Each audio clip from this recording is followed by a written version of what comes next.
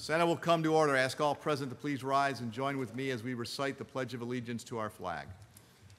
I pledge allegiance to the flag of the United States of America, to the republic for which it stands, one nation, under God, indivisible, with liberty and justice for all. Today's invocation will be offered by the Reverend Peter G. Young of the Mother Teresa community here in Albany. Let us pray. Some special reminders are needed as we daily do our public service as senators. Today, may we reach out to those that provided to you a helping hand for your leadership position in New York State. Oh God, may we take the time to remember our parents, relatives, and others in the family and others that helped as friends that share this love to assist your achievements. Our former teachers and others that made it happen for you to be successful. May they need that attitude of gratitude during this Valentine's week, that sharing of love. Amen. Thank you, Father. Thank you. Thank you. I'm going to throw this away then. Thank you, Father Young. The reading of the journal.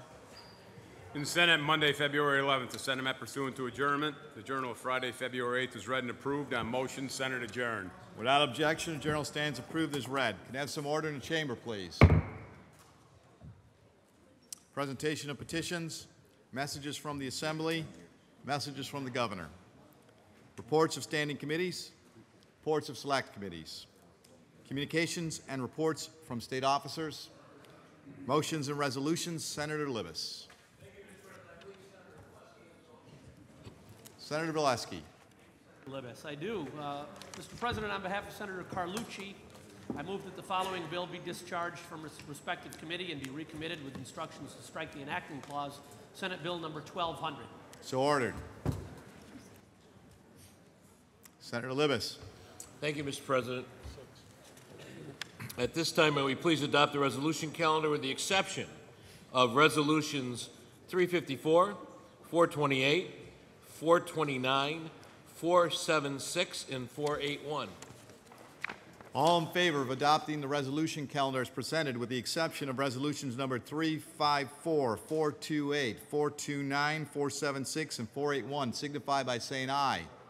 Opposed? The resolution calendar is adopted. Senator Libous. Thank you, Mr. President. I believe there is a resolution by Senator Klein, number 481 at the desk.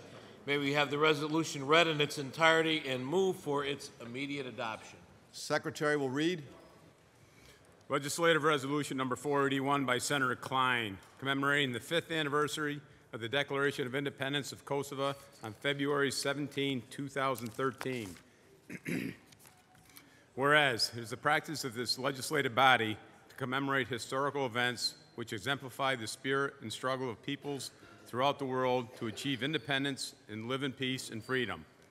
And whereas this legislative body is proud to recognize the economic, educational, and cultural contributions of the people of Kosovo in the fields of business, science, and government, which have inspired and encouraged the young people of New York to realize their dreams and ambitions through education and hard work. And whereas it is the sense of this legislative body to celebrate and applaud the people of Kosovo who have fostered ethnic pride and exemplified the cultural diversity that represents and strengthens the fabric of communities of the state of New York.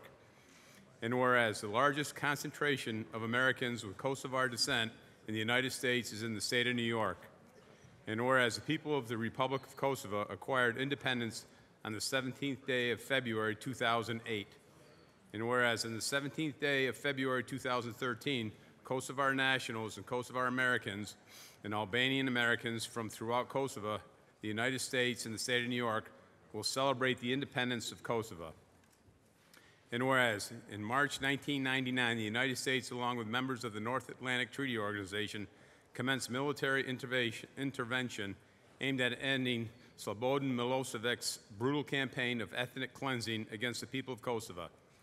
Whereas the military intervention resulted in the defeat of Milosevic's forces and the creation of the United States mission in Kosovo. And whereas the men and women of the armed forces of the United States have served bravely in Kosovo since 1999, and their presence and, and participation in NATO led Kosovo forces have been indispensable in protecting the people of Kosovo and stabilizing the region. And whereas Kosovo is now functioning under its own democratic constitution and rule of law, combined with a new flag bearing a map of Kosovo topped by six stars representing the six major ethnic groups in the country. And whereas Kosovo has earned the recognition of the many United Nations member states and many, and many international organizations. And whereas the establishment of diplomatic relations demonstrates the special ties that have linked the people of the United States and Kosovo together. Whereas the state of New York has developed medical, community, business, and educational services to assist in integrating the people of Kosovo into the community. Now therefore be it resolved that this legislative body pause in its deliberations to commemorate the fifth anniversary of the Declaration of Independence of Kosovo on February 17, 2013, and be it further resolved that copies of this resolution suitably engrossed be transmitted to the Honorable Andrew Cuomo, Governor of the State of New York, the Honorable Bekim Sejdiu, Consul General of Kosovo, the Honorable Jesse Yashari, Deputy Consul of Mission, and Akan Ismaili, Ambassador of the Republic of Kosovo to the United States. Senator Klein. Thank you, Mr. President. It's uh, truly an honor uh, to have introduced uh, this resolution uh, commemorating uh, the fifth anniversary of the Declaration of Independence of uh, Kosovo. This is something that's very, very important in the annals of our history as a nation. This is a nation that went through tremendous struggles. Everyone, unfortunately, knows the horrible past of the ethnic cleansing that took place. Uh, but through, uh, I think, perseverance and uh, a brave peoples, we stand here today to commemorate the fifth anniversary. I also want to welcome some distinguished guests we have with us in the Senate chamber. We have the Albanian ambassador to the United Nations, His Excellency Ferit Hoxha. We also have with us uh, the Consul General uh, from the Embassy of the Republic of Kosovo. Uh, we have His Excellency Bekim Sejdiu. I welcome you both here today. And uh, this is uh, something important uh, to me personally uh, because we also have with us uh, our newly elected assembly member from the 80th Assembly District, uh, the assembly district that I once represented, Mark Gjonaj. Mark Gjonaj has the distinction of being the first Albanian American elected to any legislative chamber in the nation. And uh, I'm taking a little pride for that because it came from the Bronx. And I think uh, the Bronx, as we all know, uh, is a very special place. Uh, while others talk about diversity, uh, we've lived it uh, for many, many years. And uh, that diversity uh, has been made uh, much stronger and better uh, by the influence of the Albanian community. Uh, I also have the privilege of ro- probably representing uh, the largest Albanian community uh, any place in New York State. Uh, as a matter of fact, the neighborhood that I grew up in and still live in, Morris Park, uh, is home to a large Albanian community. And you know, when you watch uh, various ethnic groups uh, throughout our time, throughout our history in New York, uh, and how they assimilate uh, is something that's very, very interesting. And one of the things you see in the Albanian community, much like a lot of the other immigrant groups that came here in the past, is sort of an assimilation process. Uh, but I will have to say uh, that watching other groups over the years, I don't think anyone has moved up uh, sort of the economic ladder uh, as quickly uh, as the Albanian community. Uh, whether it's restaurants, building, construction, these are individuals who really adapt to the American way of life, specifically our business system, a lot faster than anyone else. And now there's pillars of the community uh, in Bronx County and really across our state uh, that only arrived uh, from Albania a couple of years ago. Uh, it's uh, truly amazing. It's also, I think, uh, what keeps the Albanian community so strong and prosperous is a love of family, a love of education, and I think the acknowledgement that the way we get ahead is by remembering who you are and where you came from. Uh, so that's something that's very, very special. So uh, I want to thank you, Mr. President, uh, for uh, recognizing uh, the fifth anniversary of uh, the Declaration of Independence of Kosovo. And uh, of course, I uh, welcome my friends uh, from the Albanian community here today. Uh, thank you, Mr. President. Thank you, Senator Klein. Senator Ruth Hassell Thompson. Thank you, Mr. President. I rise to um, congratulate my colleague, Senator Klein, on this resolution and to um, participate with him in the celebration of our newest um, elected official. We share the district um, together, and um, this is the first time that I've had really the opportunity to get to know the um, Albanian Kosovo community, but to the ambassador, to the consul general, and to all of you who have come to to be with us today as we celebrate and to acknowledge your country. Um, we thank you. We thank you for the prosperity that you have brought to the Bronx. And we look forward to the representation that your new leader will provide to our people in that district. And I know that I, I speak for Jeff when I say that it's awesome to have a partner who really understands business as well as the needs and the, and the hearts of the people in that community. Thank you, Mr. President. Thank you, Senator Hassell Thompson. Is there any other senator wishing to be heard? All in favor of the resolution signify by saying aye. Opposed? The resolution is adopted. We want to extend the warm uh, greetings of the House and our best wishes to Mr. Ambassador, to you, Mr. Consul General, and to all of the delegation that are here from Kosovo today. Thank you for being here.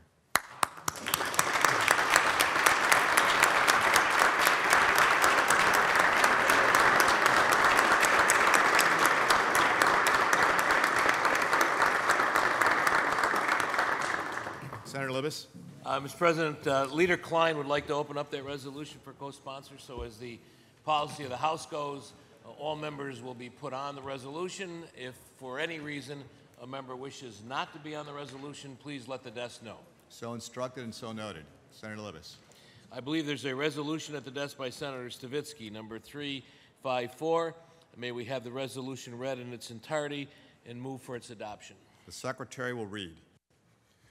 Legislative Resolution Number 354 by Senator Stavisky, paying tribute to the distinguished life and career of Emmanuel R. Gold, former New York State Senator. Whereas it is the sense of this legislative body that quality and character of life in this great empire state is indelibly enriched by the faithful and caring efforts of those who devoted their life to public service. And whereas this legislative body is moved to commemorate the purposeful life and distinguished career of Emmanuel R. Gold, former New York State Senator, and to express his sincere sorrow upon the occasion of his death. And whereas Emmanuel. Gold, known as Manny, died on Thursday, January 24, 2013, at the age of 77.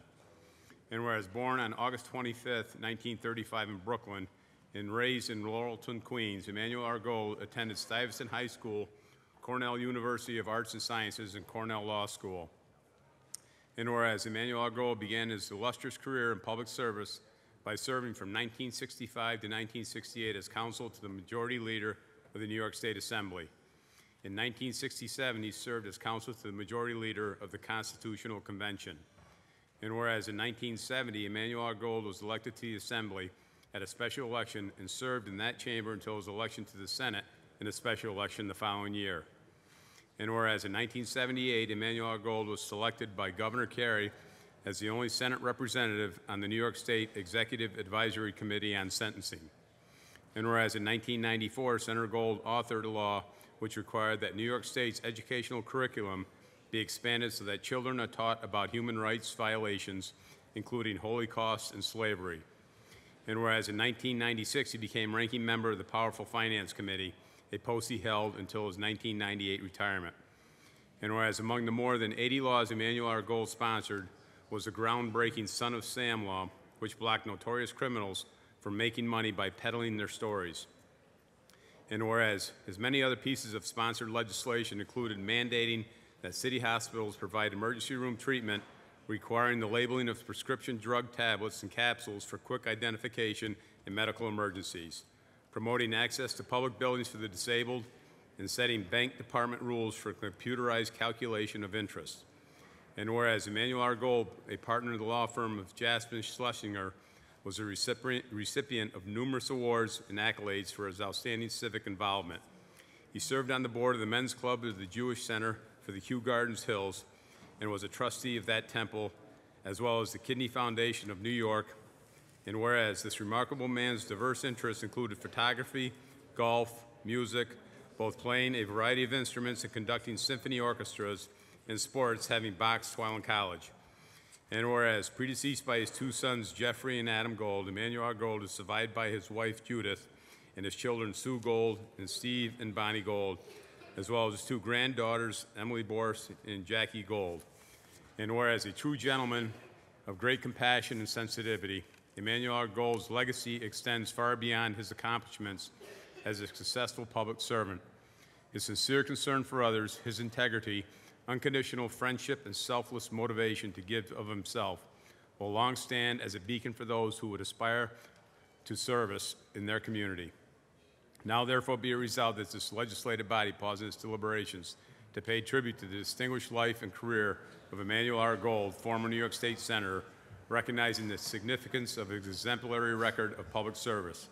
And be it further resolved that a copy of this resolution suitably engrossed be transmitted to the family of the late Emmanuel R. Gold. Senator Stavisky.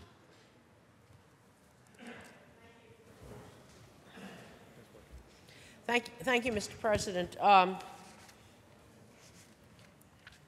while Senator Gold was born in, in, uh, in Brooklyn and grew up in Laurelton, he is best known as a resident of Forest Hills and represented the Forest Hills community as I do today. Um, he served for one year in the Assembly, elected in a special election, and then in 1971 he was elected to the Senate where he served until 1998. I can still see Manny sitting over there where Senator Gianaris is sitting and acting as the floor leader, the deputy uh, minority leader. And he would debate bills better than anybody I have seen, I must say. And that includes a lot of excellent debaters uh, from both sides of the aisle. He was an, accompli an, accomplished attorney, and these skills in the courtroom, coupled with um, his skills, his floor debate style, uh, was just incredible to watch. He did sponsor um, over 80 laws, something that we don't seem to do today. But as a minority legislator, he was able to enact 80 laws, particularly um, the Son of Sam and uh, other uh, bills, one labeling prescription drugs. There were a whole host of it, making sure that we teach our children in the schools about various um, uh, causes, especially the Holocaust. Uh, in 1996, he became the ranking member on the Finance Committee, and again, participated actively in, in all of these debates. Um, Manny Gold was so good at everything that he did. Whatever he did, he did it better than anyone else.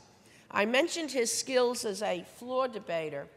He once brought an AK 47 into the chamber he bought one, showed how easy it was to purchase, and brought one into the chamber to demonstrate the need for gun legislation. Because, quite frankly, I know people hunt, but you don't go hunting, I don't believe, with an AK 47. Um, but he was able to use this flair for the dramatic, whether it be in the courtroom or on the Senate floor. Um, he was a true Renaissance man. He was an athlete. He was a boxer in college. He was um, an avid, active golfer in later life. And I just heard that he, from Senator LaValle, that he was a ping pong player. Can you imagine a, with um, Mr. Lewis? I don't see him in the chamber, but with Mr. Lewis's dad. And uh, I'll let Senator LaValle tell, tell the story about the ping pong matches. But can you imagine the two verbal, verbally going against each other in a verbal ping pong match? Um, that was something to see. Um, he was a photographer. You used to go into his office and you would see photographs you knew were from the Capitol. And they were different angles and different cornices and different um, uh, sculptures from the Capitol building, which to me represented just pieces of building. But to Manny, it was artistic. His photographs were um, really professional in style. And he used to sit there with the camera on his desk um, for many, many years taking photographs. Um, he was a musician, not just somebody who played a violin or the piano or whatever. He was the conductor because he had to be in control. He conducted his legislative business, he conducted uh, his music, and was well known in Queens as conducting the old Sym- Queen Symphony Orchestra. Um, so we gather today to talk about Manny Gold, but also to remember his family. His daughter Sue is here. Uh, his son Steve lives in Albany. Uh, his wife Judy is in Forest Hills. And unfortunately, he lost two sons Adam within the last uh, four or five months, uh, and another son. So I think it's important that we remember the contributions of people who have gone before us. Um, it's, this is the way oral history is trans, transpires from generation to generation. People talk about legislators and you hear stories, and certainly people can tell a lot of stories uh, about Manny Gold, but also Manny was uh, a great legislator, and uh, uh, I certainly uh, will, will miss him. Thank you very much. Oh, and may we ask that the resolution be opened uh, to everybody? Thank you, Mr. President. Senator Farley. Senator uh, Stavisky, you said it all, but I knew Manny Gold very well, and like you, I can still see him sitting over there. You know, a lot of giants have served in this House, but I'll tell you, Manny Gold was one of a kind. Really a remarkable man. You described him as a Renaissance man. Boy, that says it all. He really could do it all. He, he would, not only was brilliant and accomplished things, but his debates were really, they were always well formed, and he was always a gentleman in his debates, too. He never attacked anybody personally that I knew, and uh, uh, he, he was always on target. I'll tell you, if, uh, uh, if a person or a senator from this side of the aisle would listen to him carefully, you'd change your vote. But uh, Manny was, uh, had so many facets to him, and you mentioned so many of them.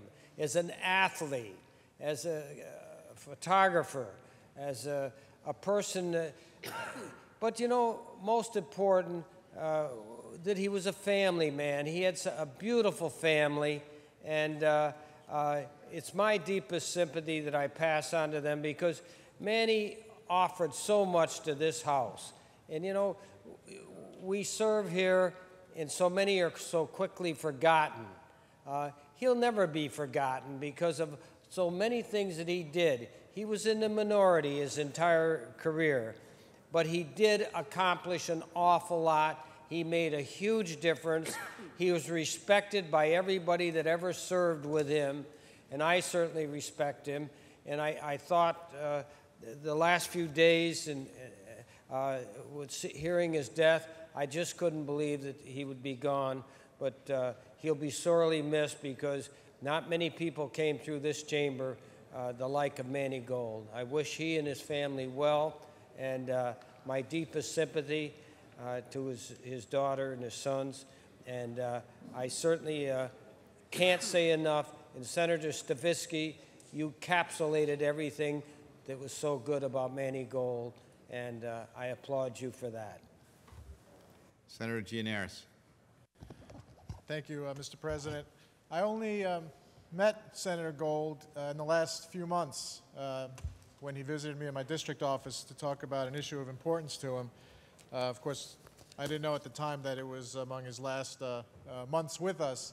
But even though I only knew him a short time, his influence on my career and my life has been uh, very present. First of all, as a, a senator and elected official from Queens, uh, his reputation preceded him in the world of, of Queens County politics.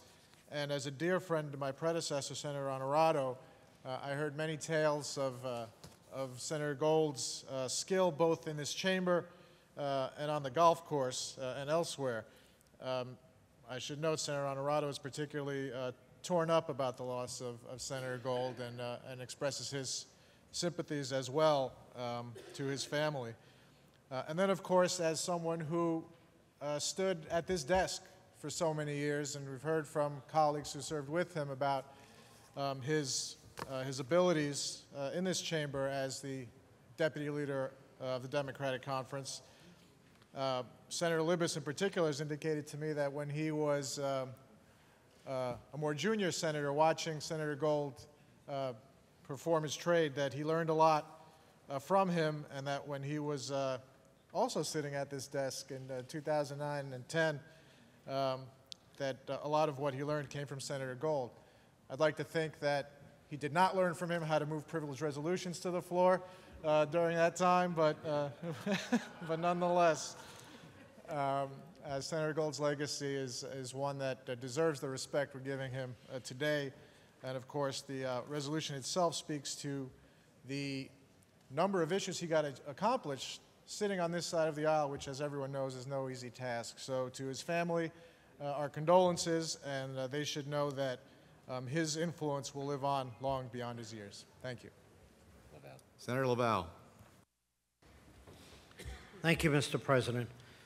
Um, If we had a um, Senate Hall of Fame, knowing from the beginning of this body forward, uh, Manny Gold's name would be uh, on that Hall of Fame. Um, I think the first thing you have to say about Manny Gold was he was a mensch. You just uh, had to love the man for so many of his qualities and have been talked about today his intellect, his charm, his wit, his athleticism. It goes on and on and on. And the most interesting thing, and Senator Stavisky talked about this, he was in his career, I believe the whole time, uh, in the minority, passed 80 chapters, 80 chapters, and very significant pieces of legislation. Very significant. And how, how did he do that? Well, he understood that uh, the art of making a law uh, deals with people. And you have to interact with people. And you have to treat people uh, in a good and decent way. And he had the intellectual skills of um, being able to talk to people in the most persuasive way and get what he wanted done. We saw it on the floor, and he sat, as was pointed out, time and time again, um, in the deputy minority leader's seat. I sat in the back row, and I got to know uh, Manny Gold. He, um, whatever he did, he just really excelled. And what has not been mentioned as an attorney, um, he again was one heck of an attorney. And of course, he uh, used his attorney skills here in the legislature in drafting bills and in making arguments in the most persuasive way. We were the jury. We, he was in this courtroom. We were here, and he made his case. Senator Stavisky said um, he brought in, as we had uh, um, a rule, Senate rule, that you couldn't really bring things in to make your point. Uh, no less an AK 47 that he brought in to make his point. And you know, not a member here got up and said, Point of order, Senator Gold. Not, not one. Because he did it in a way that was in good taste and acceptable to everyone. So people shrugged and said, Well, so we have a rule, but he's making a point and he's making it very well. Um, the last thing, I just want to go back, as I had said. Um, there could not be, and I, I guess what is important for all of us in the short time that we occupy space here on this earth is that he showed great humanity to, um, to individuals. Uh, he was nice to every person, regardless of whether they were members, staff, people lobbying here, just a genuine warmth. And um, his daughter Sue is here, and um, she, um, she has, Susan, you have your father's warmth and humanity, and uh, just clutch that to your heart, and he will always be with you. Thank you, Mr. President. Senator Maziarz. certainly offer my sympathies uh, and join my colleagues uh, in honoring a great person, uh, Senator Gold. When I first came here, uh, Susan, there couldn't have been two people from more diverse backgrounds. Your dad from the city of New York, born and raised there, and you know, kind of liberal democratic politics, and me from upstate New York, a very rural area, very Republican conservative. And your dad made me feel so welcome here uh, in the mid 1990s. Now, when I came, he sat in that first chair there. He was the ranking member of the uh, Finance Committee. And your dad would get up, and, and he and Franz Leichter would tag team us over here all the time, and they would go on forever. Uh, but your dad would ask questions. Uh, they were always thoughtful, probing, intelligent. Of another giant, Senator Ron Stafford, who was the chair of the Finance Committee, and Senator uh, Senator Stafford's answers were always thoughtful and provoking and intelligent and humorous too. Uh, but uh, uh, I got, always had a lot of respect for your dad, a lot of great memories here, uh, and, and what Senator LaValle and Senator Farley and Senator Stavisky said, that uh, even though we were on opposite sides of the aisle here, your dad was always respectful, and he was just a, a, a, true giant in this room. And I thought it was a very good analogy that Senator LaValle used. If there ever was a a Hall of Fame for this place, your dad would be in it. Thank you, Mr. President. Senator Breslin. Thank you, Mr. President. I, I, just rise to affirm everything that's been said and, and to affirm some of the descriptive words of a Renaissance man, uh, a collegial man, a Hall of Famer. His picture still sits in our lunchroom as a member of the baseball, uh, the softball team, along with some of the other greats, including Senator Libous, I see, and other greats. Uh, I think Teddy Roosevelt was on that team. Uh, uh, but Manny had a way of just, when I first got here, uh, he invited me to lunch and he focused on me. He wanted to know about where I was from, my background, and he just had a grace and a gentleness about him. And you never knew he was as good in each of the areas until you saw it firsthand. Uh, I, I, played golf with him uh, and found out quickly he was a better golfer, uh, and I didn't expect him to be. And I watched him on this floor as, as he debated uh, time and time again, but always in a non personal way, always with a smile. and uh, I would take some exceptions to Senator Farley. I'm not so sure he convinced the other side to change their votes. I didn't see that, but he made them think about it and he did it with a style and grace that I don't think we'll ever see again. So, for all of us here who saw him, and now two of his children, Sue and Steve, live in my district, uh, and he raised wonderful, wonderful children. So, uh, on behalf of uh, this Senate, uh, we couldn't have a better Hall of Famer than Manny Gold. Senator Libous. Thank you, Mr. President. Um, I too rise with my colleagues to pay tribute to this great man. You know, I'm uh, starting my 25th year in the Senate, and I am very blessed. And um, I think uh, all the members that have come through, I can honestly say that uh, I've liked and enjoy serving with. Some of you I've liked better than others, but um, I- have liked all of you. Senator Gold, I loved. Uh, he was, as my colleagues have said, just a, a remarkable guy. I sat on the end of that aisle, and I sat next to another great senator, the late Norman Levy, and I remember I would watch Senator Gold very artfully and tastefully uh, not only debate, but tie us in knots over here, and we weren't even sure that we were being tied in knots. And uh, he would do it with a smile, he'd do it uh, gracefully. And I remember one day, uh, and again, I'm a young 33 year old kid. I'm only 34 now, but a young 33 year old kid sitting at the end of the aisle, and Senator Gold gets up where Senator Gianaris is, and uh, Senator Leichter is, is sitting three or four seats down the row, and Senator Gold decides he's going to debate Senator Leichter on a bill.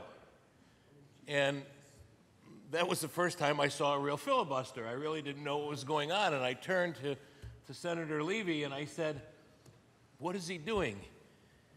He says, He's making us suffer. and I said, Well, why would he do that? He said, Well, because there's something going on between the two leaders that they're not happy with. So Senator Gold's role is to take some time up on the floor and to, to stall things out. And I said, Well, why is he asking Senator Leichter? It's not even his bill. He said, Just sit and relax. You'll learn a lot. And I did. Uh, I learned a lot about running the floor and, and, and procedure. And uh, I like to think that I learned a few things from Senator Gold. As Senator Jannar said, uh, after that day in 2009, I did get a call from him. And he said to me, I guess, Tommy, I taught you a little too much. and uh, we always had a, a, great relationship. He, he was a special guy, a special colleague. And, and I would say that, uh, Sue, that, uh, I mean, he, he, was your dad, and, and, and I'm sure there's some, some great stories in your heart that you'll always remember and, and cherish. But for those of us who, who saw him professionally and who worked with him, um, it was more than a professional relationship. Uh, it was a personal relationship, and that's, as everybody said on this floor, uh, that's the kind of guy he was. As Senator Breslin said, Senator Farley, Senator LaValle, he took time to find out about you. And when you were with him on the floor, he was a Democrat, believe me. And he was the loyal opposition on the other side of the aisle. But when we were playing softball or we were playing ping pong or, or whatever you were doing with, with Manny Gold, and by the way, he probably beat you, um, he wasn't a Democrat and you weren't a Republican. You were human beings and um, somebody that, that he respected and certainly somebody that we had the utmost respect for. Uh, I just want to say, as my colleagues did, Mr. President, and, and to you, Sue, that um, I am a better person and I'm very blessed to have known your dad, and I know that everyone in this room feels that same way. Thank you, Senator Libous. Senator Fuschillo. President, when I first got elected in um, March of 1998 and came to this chambers, I was asking some of my colleagues about a week or two later, could you tell me about all the members here? And I remember Franz Leichter was over there and telling me how brilliant he was, and then it got to Manny Gold, and they said, you never want to debate against Manny Gold. Well, a week after I got here, something happened on the floor, and he was really upset at the procedures, and the next bill that was coming up was mine. And he said, lay it aside. And I said, oh my God. I'm only here five days. What is this guy going to do to me? And Sue, everybody's so kind about your father. He was a fierce debater. And I walk into the lunchroom and I said to him, Are you okay today? He goes, No, I'm really upset about what's going on on the floor. I said, Well, why are you taking it out on me? Why are you taking it out on me? He says, Who are you? and I thought that was a good sign. he ended up letting it go. And I was so happy about that.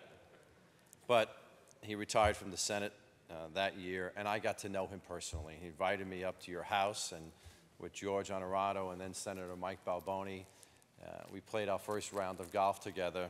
When we got back to your house, we had lunch, and he said, You'll never be invited again. You really stink when it comes to playing golf. so I appreciated his honesty, but I got to know your father very well over the years, and he never lost his passion for this legislative body. And about four or five months ago, maybe a little bit less than that, he called me and he said, You know, all the stuff that's going on in the city of New York with the lack of respect and regard for police officers and how they're getting shot and killed, you need to do something about this. And we spent two hours on the phone. And I said to him, You're incredible. You never lost this thing. He said, It's in my blood. I'll have it till the day I die. Well, when I received the call that your dad passed away, I was shocked and I was deeply sad. And, and Senator Stavisky, I'm so uh, honored that you brought this resolution to the floor because it's critically important that we remember those that really made a difference in this body. Uh, I support this resolution and I offer my condolences to you and your family. Thank you, Mr. President. The question is on the resolution. All in favor signify by saying aye. Opposed? The resolution is adopted. Senator Libous? Mr. President, uh, can we open the resolution up to all members, and as our policy goes, if for some reason somebody doesn't want to be on the resolution, let the desk know. And could I ask my colleagues to stand and join us uh, for a moment of silence to honor um, a great colleague? We'd ask the chamber to please rise in a moment of silent reflection and commemoration of Senator Gold.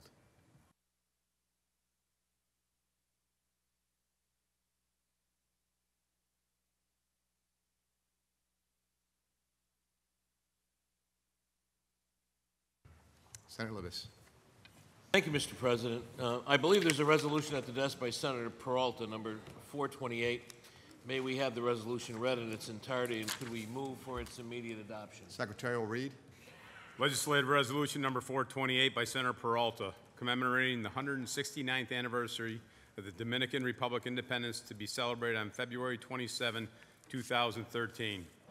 Whereas it is the practice of this legislative body to commemorate historical events which exemplify the spirit and struggle of peoples throughout the world to achieve independence and live in peace and freedom.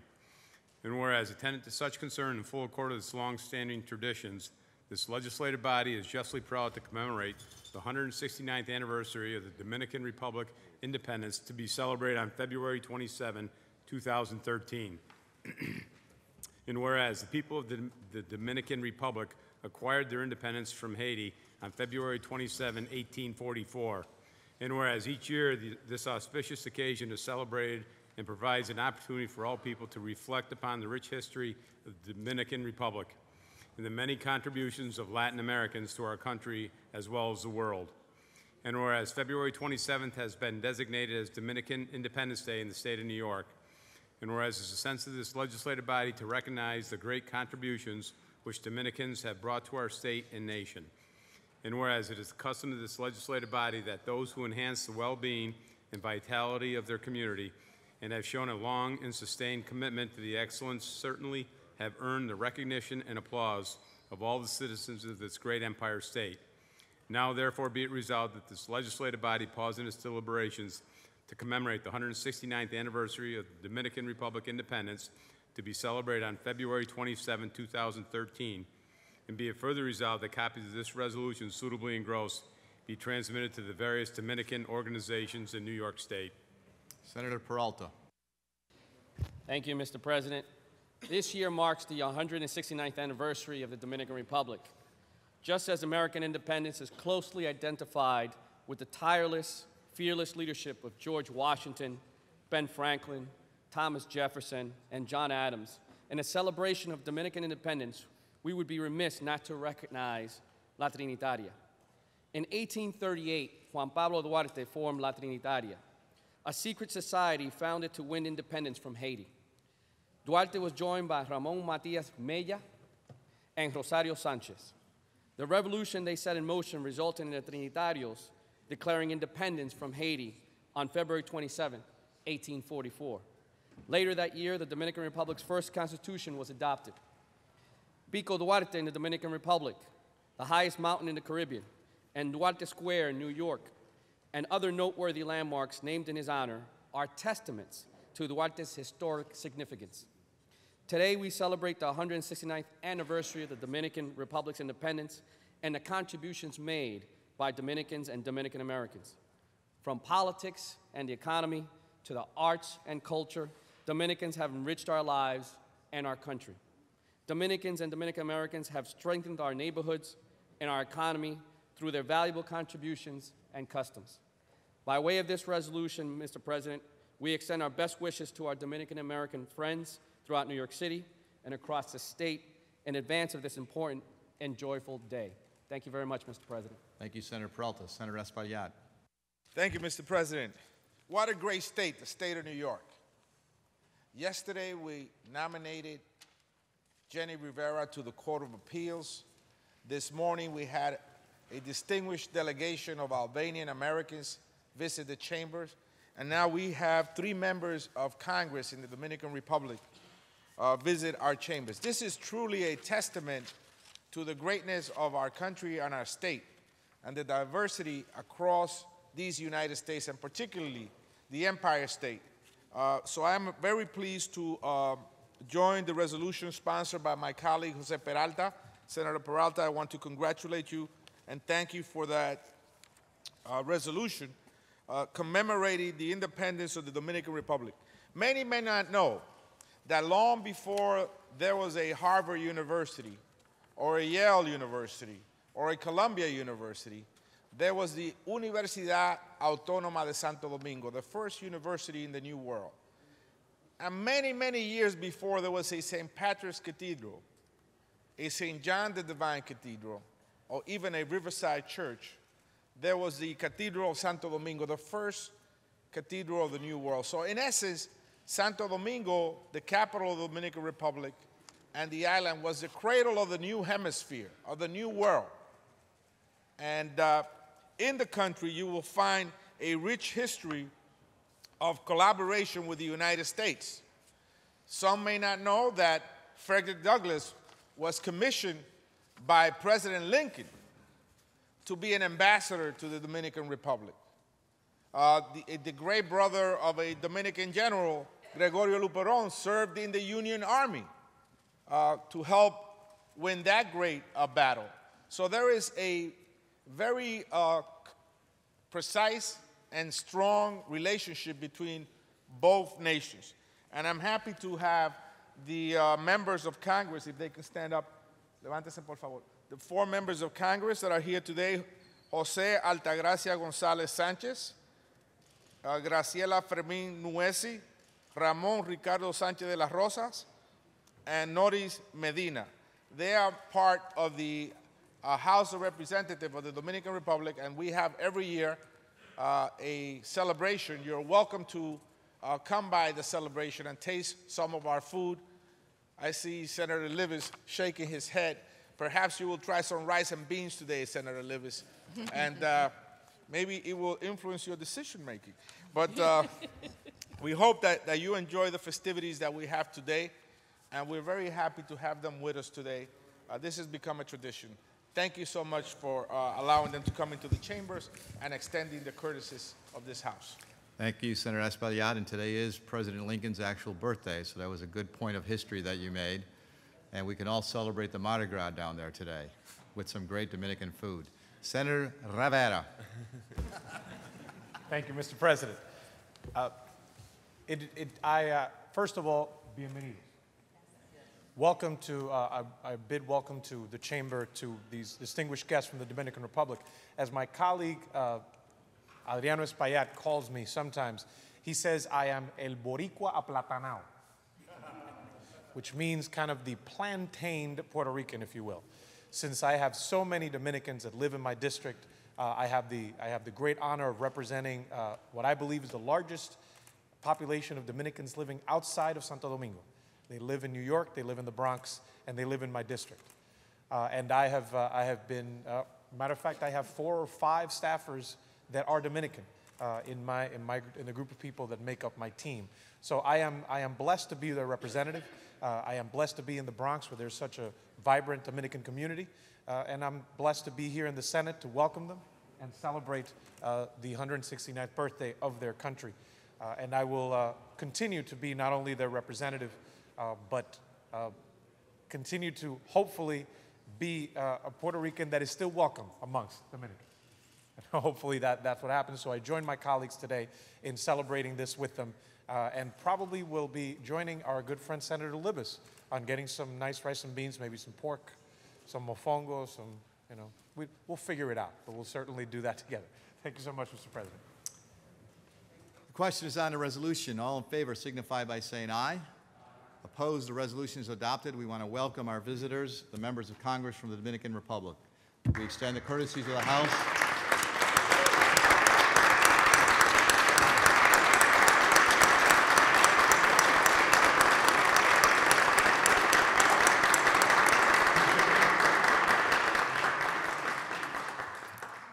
Libous.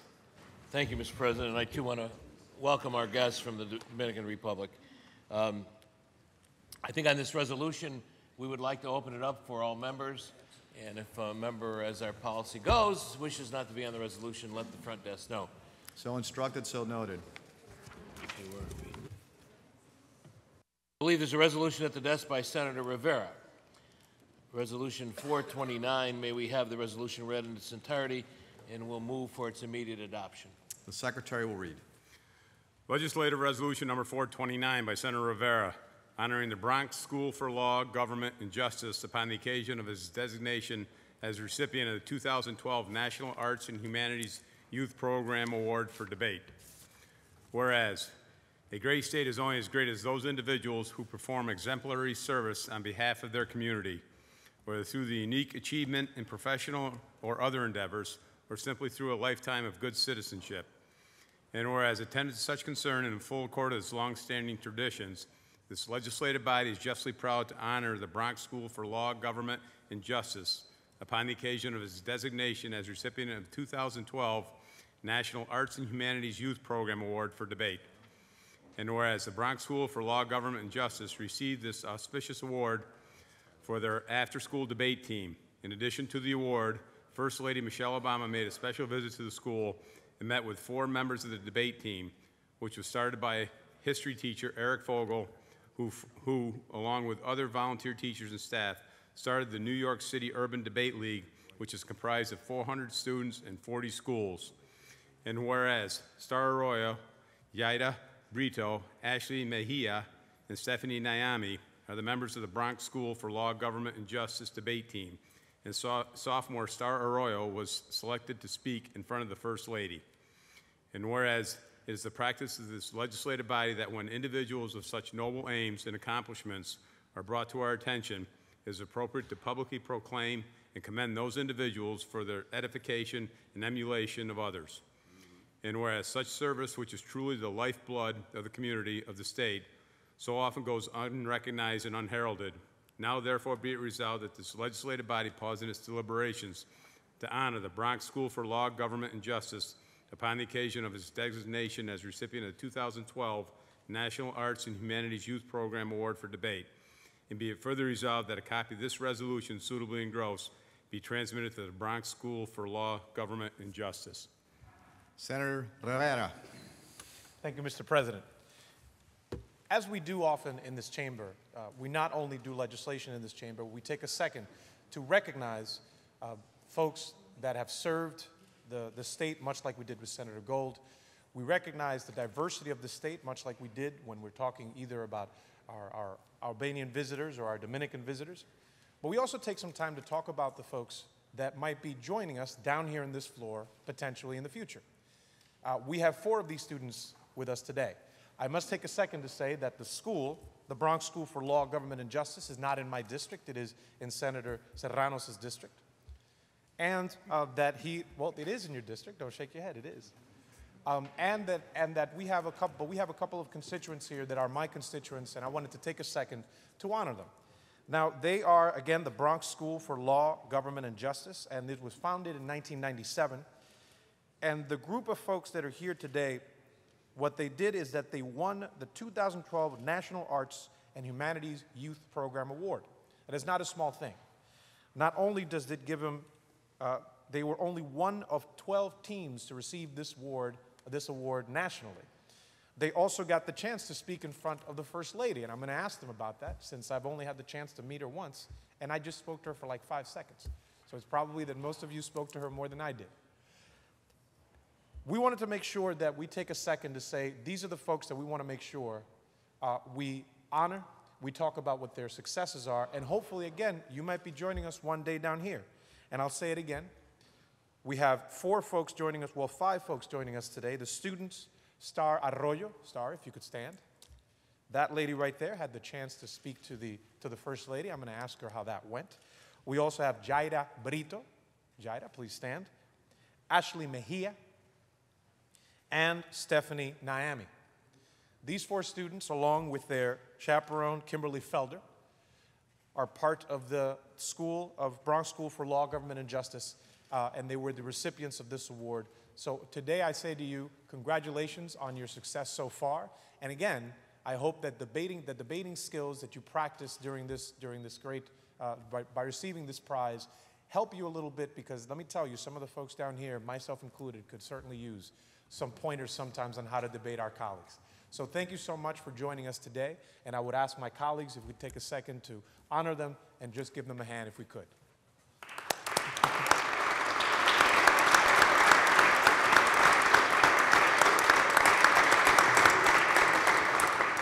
We Welcome you to the chamber. Congratulations and best wishes. The question is on the resolution. All in favor signify by saying aye.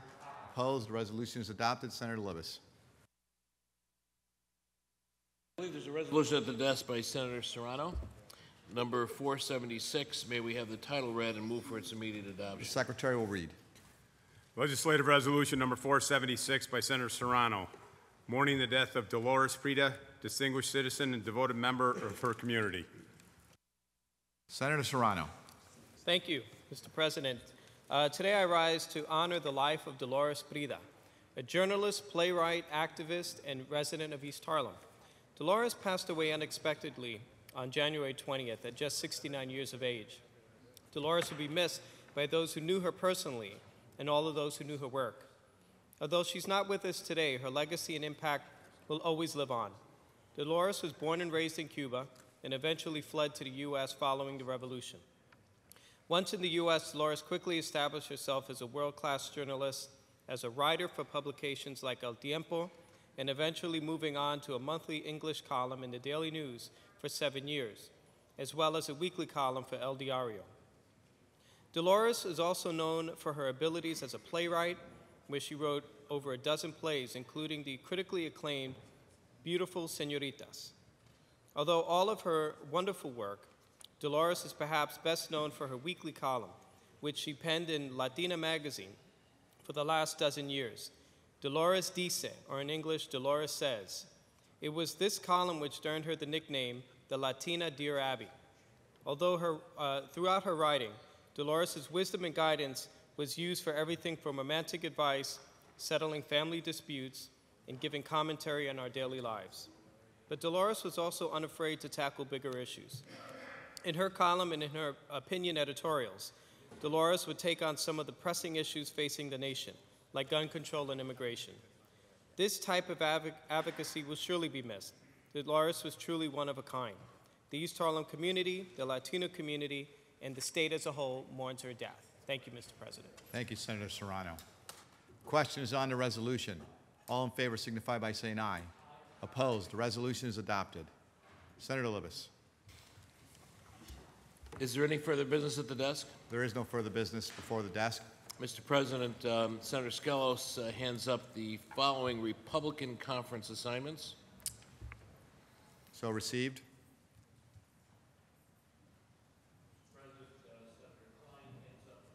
IDC conference assignments.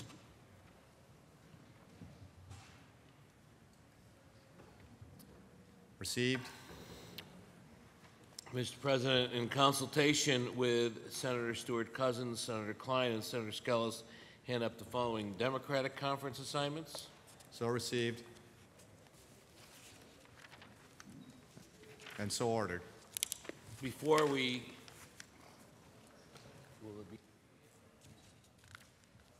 adjourn, I have a committee announcement that I'd like to make. Senator Gallivan says that the meeting of the Crime Victims, I'm sorry, Crime Victims and Corrections Committee will meet um, 1220? Immediately following. immediately following session in room 123. So let me repeat that. Crime victims uh, and corrections at um, room 123 immediately following session. So noted. Crime victims, crime and corrections will meet immediately following session in room 123. All right, now for the good news, Mr. President. Being no further business, I move we adjourn until Wednesday, February 27th at 3 p.m., intervening days being legislative days. On motion from Senator Libous, the Senate stands adjourned until Wednesday, February 27th at 3 p.m., with intervening days being legislative days. The Senate stands adjourned.